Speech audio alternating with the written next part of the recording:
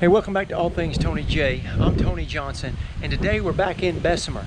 Bessemer is best known in Alabama as one of the top 10 most dangerous cities to live in. I've never had any beef with it. I've never felt unsafe or anything else, but there's some gorgeous places here to look at. So today I'm going urban hiking. I don't know how much is going to be abandoned. I don't know how much is going to be vacant, but you can decide.